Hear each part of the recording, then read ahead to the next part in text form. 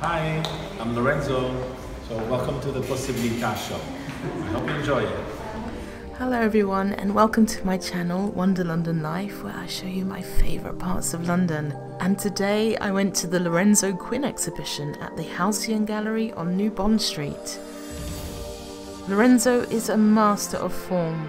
He uses the body, the hands especially, to create a unison of ideas based around humanity and the ways in which we connect with one another on a human level. Some people say that the eyes are the window to the soul, but I think with our hands, that's how we connect with each other physically.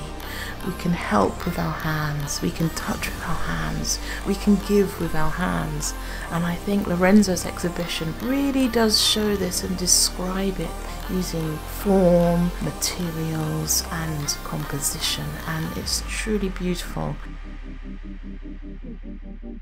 This sculpture is called Empowerment. It's being donated to the Duke of Edinburgh International Award, and all proceeds from the sale will be going to charity. It's also searching for a home in London for public display, so I really hope that someone snaps it up and allows us all to enjoy it for as long as we like.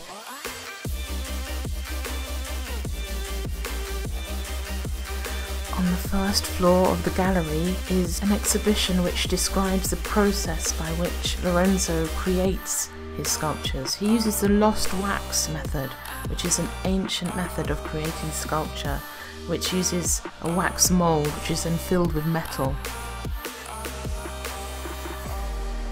On the lower ground floor is a space that's filled with sculptures which depict love and togetherness.